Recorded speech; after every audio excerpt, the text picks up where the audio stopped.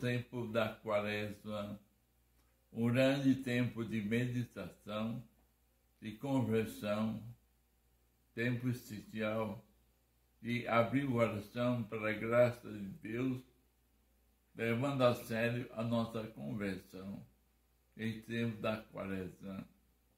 Tempo privilegiado, especial, a igreja procura nos colocar na atenção da conversão, da mudança de vida, da transformação pessoal.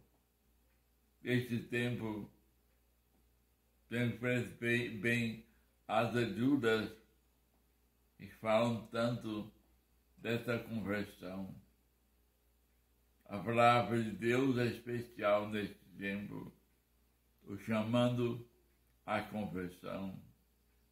Portanto, a primeira coisa é prestar muita atenção às leituras da quaresma, que invocam muito a conversão pessoal. Falam muito do amor de Deus imenso por nós, da bondade do Cristo, da bondade do Pai,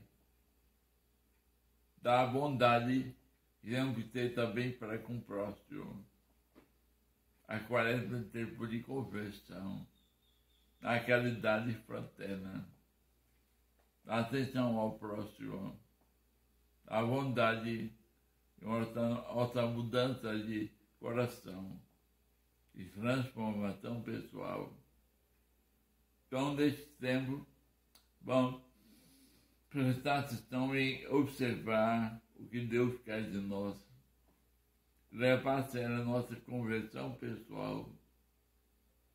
E isso vai ser um tempo muito agradável a Deus pela nossa resposta pessoal a uma vida nova, uma vida de conversão. Desejo a todos os benfeitores, a todos os colaboradores, todos que vivem o carisma da copiosa redenção, de serem santos, serem tocados pelo Cristo Redentor, viver essa dimensão da redenção, o espírito da copiosa redenção.